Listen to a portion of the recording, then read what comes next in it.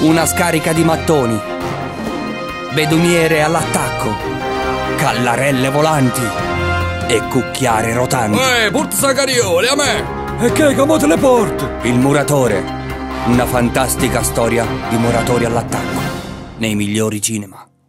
Prodotto da acetino.com